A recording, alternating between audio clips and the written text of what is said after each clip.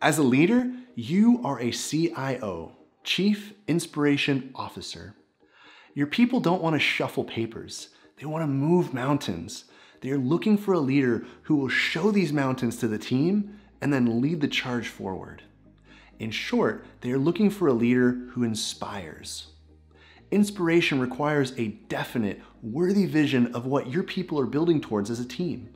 It requires clearly, passionately, regularly communicating the vision. If you ask, where's the energy? Why does our corporate culture lack passion? First ask, have I clearly communicated a definite worthy vision of what we're building towards as a team? Am I communicating the importance of energy to this vision? Do I myself have energy? Am I clearly demonstrating it?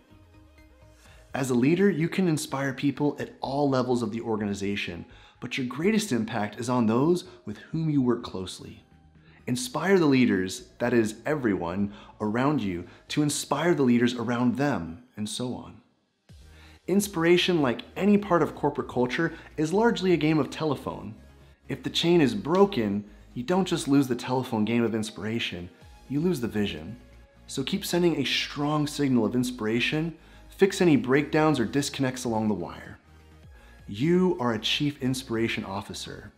Go inspire. Thanks for watching. Make sure to subscribe for more content just like this, and we will see you in the next video.